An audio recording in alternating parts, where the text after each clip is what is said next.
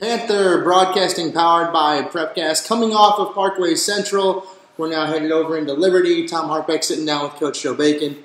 Uh, Coach, 48 to 7, uh, big win, obviously. Tyler Oaks plays a huge part in the win. Yeah. Uh, you kind of talked about it in our post-game show last week, but what made him factor in that game more than the previous two?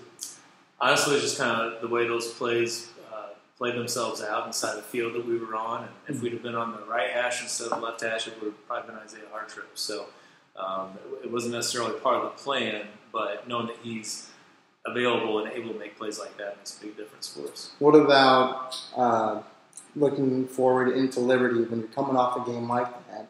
Uh, how do you coach the kids this week, saying, "Hey, I know you guys had you know maybe an easy time of it uh, last week."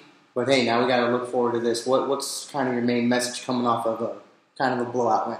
I think the big point is, I mean, it, it went real well for us, and mm-hmm. it looked like it was easy, but it wasn't easy, right? Mm-hmm. we ended up scoring points a lot, but it's only because we we executed really well and we were focused and uh, we did things the right way, and so um, they understand they got to keep doing it that way in practice too. And so if they let their focus drop uh, if the effort level goes down some, it's it's not going to be easy by any means against Liberty or anybody. And we could find ourselves in a pretty bad spot. So I think they understand. They, they got to keep that level up throughout the week, including Friday night.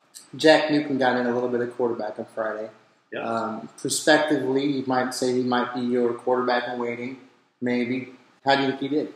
Uh, I thought he did real well. Yeah, and he's definitely one of our quarterbacks in waiting. Yeah, one of one of that's a good thing to hear. He's a real good option. So uh, he handles it really well. I mean, he's smart. He knows you know, where everybody's supposed to be, and, and not just the intellectual side of it, but physically. He, he makes his reads, but then he, he, runs well. He's got good paths that he takes. He's pretty dynamic with the ball in his hand. So he, I, I, was very impressed with that Friday night.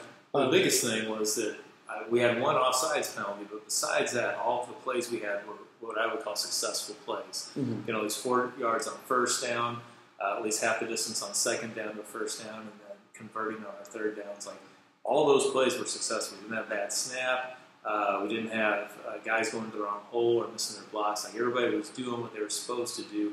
And granted, it was maybe a hair slower than when the first string does it, but like that was our offense, and they looked pretty good. Mm-hmm. Isaiah Hartrip uh, was matched up against a six foot four wide receiver uh, last game. How do you think he did?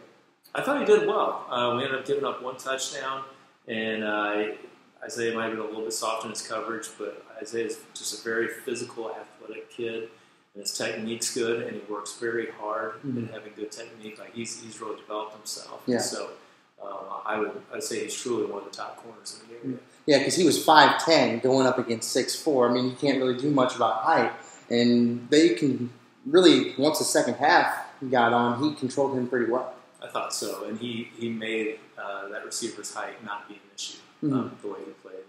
So just real physical and uh, on top of the kid. So he did a really good job. It's been as hot as it's been this week. It's been a real good week of practice, and they're focused and um, look pretty sharp so far. So mm-hmm. Looking forward to see how that translates Friday night. All right. Well, thanks, Coach. We'll see you next week. Panther Broadcasting, powered by Prepcast your play by play network.